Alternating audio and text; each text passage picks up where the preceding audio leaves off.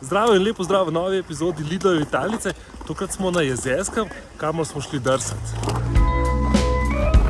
Zaradi visokih temperatur Planšarsko jezero žal ni zamrznjeno, zato še dobro, da je v neposrednji bližini urejeno umetno drsališče.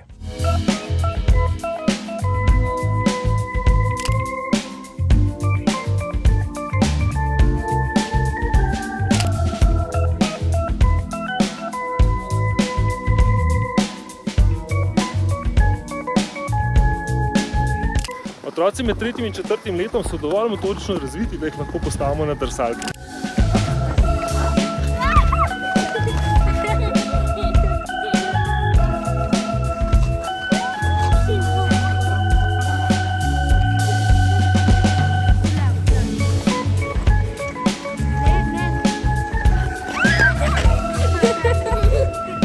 Jaz sem danes drugič na drsalkah in moram reči, da prav uživam.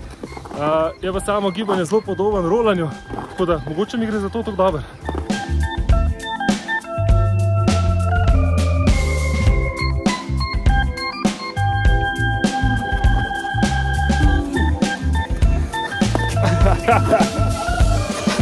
To je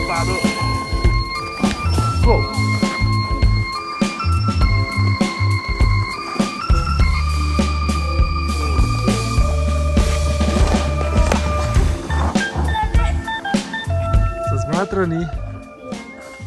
Kaj ti misliš, da ti je šlo dobro? Ja, Ti je bilo fino? ja.